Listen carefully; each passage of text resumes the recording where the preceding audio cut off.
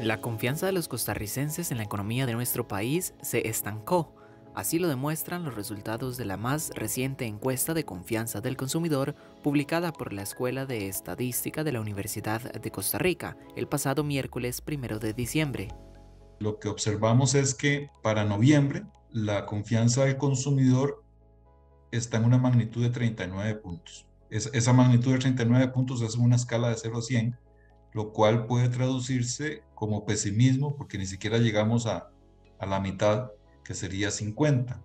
Ahora, tal vez uno de los resultados más importantes es que esta confianza fue exactamente igual a la de tres meses atrás.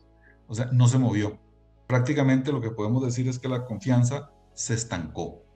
En los resultados de la encuesta se destaca que es probable que la confianza no crezca debido a que la reactivación de la economía todavía no se ha reflejado a la mayoría de la población, así como también los escándalos por corrupción puede que tengan su impacto en el pesimismo. En este momento, la efervescencia social que se está respirando por los casos de corrupción en el país eh, hace que la confianza no aumente como era de esperar pese a la reactivación económica, pese a la disminución del efecto de la pandemia, pese a la época que estamos experimentando. De acuerdo con los registros de los años anteriores, se espera que la confianza mejore para la próxima encuesta que se realizará en febrero próximo. En época de elecciones, previo a la elección de la presidencia de la República, sí aumenta la confianza.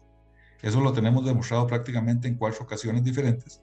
Y entonces, podríamos suponer que en el próximo mes de febrero, fecha de la próxima encuesta, que además siempre ha coincidido con el momento electoral, probablemente se registre un aumento de la confianza.